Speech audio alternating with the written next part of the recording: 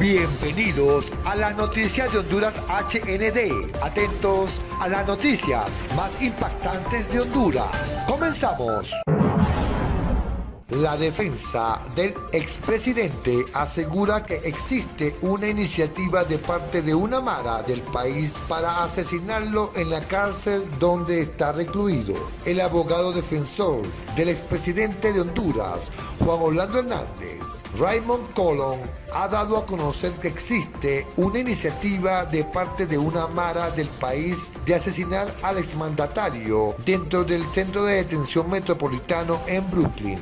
Esta información trascendió luego de que el abogado asegurara que la MS-13 tiene integrantes dentro de la cárcel antes mencionada y que existe una orden de asesinarlo que viene desde Honduras, por lo que ha exigido que su cliente pueda defenderse en libertad.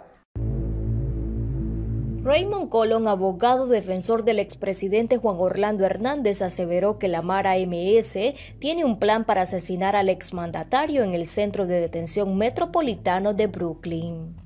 Colón mencionó que en dicha cárcel hay integrantes de la Mara MS-13, los cuales han amenazado al expresidente. Por tal razón insiste que Juan Orlando Hernández se defienda en libertad. Las fuentes policíacas y videos de alto mando de la policía han demostrado que tienen información que una Mara va a hacer intentos de asesinarlo a él en la cárcel y posiblemente a su familia en Honduras, acotó Colón. Esta situación ha limitado que pueda haber en algunas oportunidades a Hernández, aseguró el abogado. Cada vez que se separan esos individuos impiden mi oportunidad de encontrarme con él porque cuando ellos están en el salón de visita, él no puede bajar. Asimismo, denunció que no le están dando los medicamentos a su cliente. Tenía una condición de sinusitis, no le querían dar antibióticos. Supe que tenían la medicina pero usaron una excusa para no dársela, finalizó.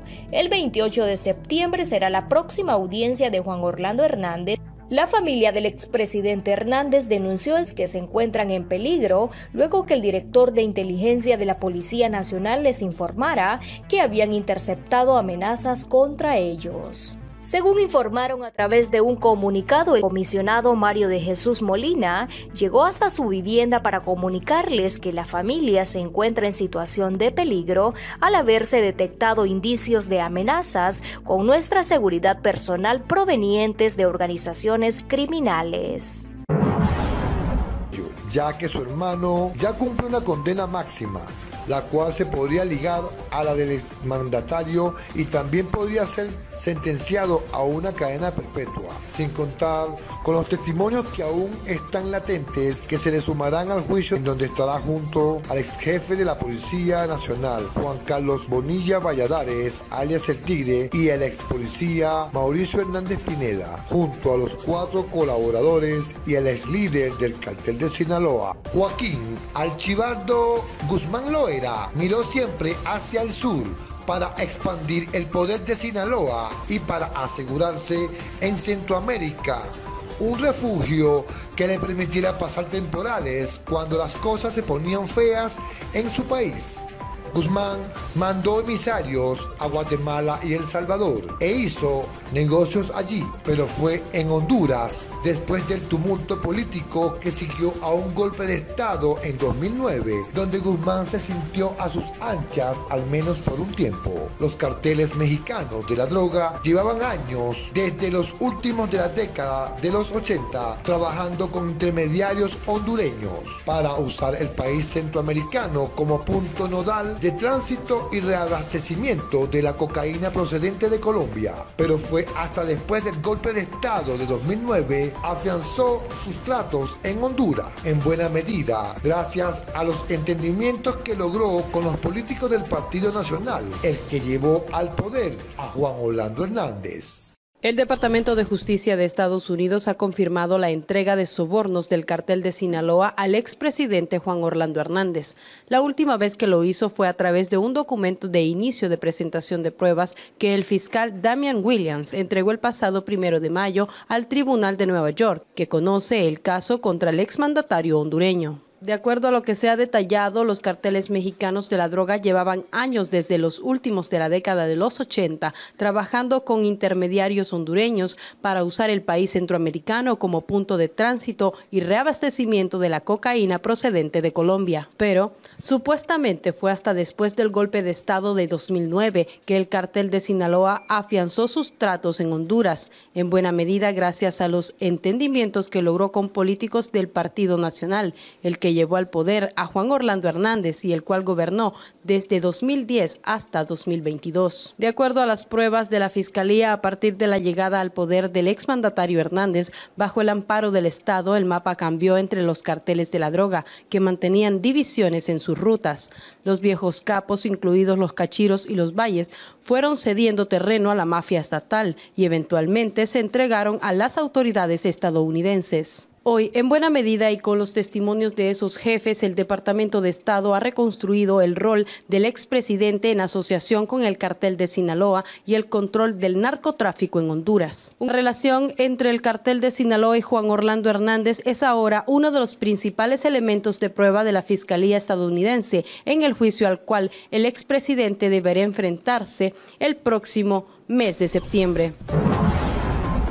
En una carta enviada al secretario de Estado Anthony Blinken y a la secretaria del Tesoro Janet Yellen, el influyente senador demócrata insta a la administración a asegurarse de que Hernández rinda cuentas por sus acciones como co-conspirador. Fiscales estadounidenses dan credibilidad a testimonios que implican a Hernández en delitos de narcotráfico, aunque no existe una acusación formal contra el exmandatario que afirma que se trata de una venganza. Las acusaciones presentadas durante casos llevados adelante por tribunales federales indican que Hernández ha estado involucrado en actividades criminales y en el tráfico de drogas, acciones que han puesto en peligro la seguridad nacional de Estados Unidos y a la prosperidad del pueblo hondureño.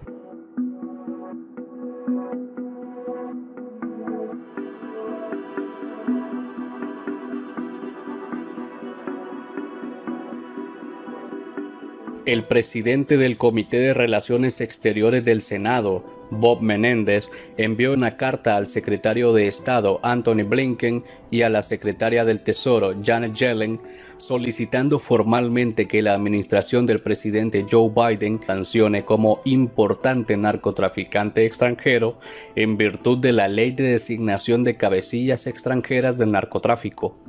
Fiscales estadounidenses dan credibilidad a testimonios que implican a Hernández en delitos de narcotráfico y lo designan como co-conspirador, aunque no existe una acusación formal contra el exmandatario que afirma que se trata de una venganza. El expresidente gobernó el país entre 2014 y 2022 las alegaciones en los casos judiciales federales citados anteriormente sugieren fuertemente que Juan Orlando Hernández está involucrado en actividades delictivas y narcotráfico. Al sancionar al expresidente Hernández en virtud de la ley de designación de cabecillas extranjeras del narcotráfico, el gobierno de Biden puede afirmar su compromiso de promover el Estado de Derecho en Centroamérica Suscríbete a las noticias de Honduras HND. Déjanos tu like, déjanos tus comentarios y no te pierdas las noticias más importantes de Honduras. Nos vemos en un próximo reporte.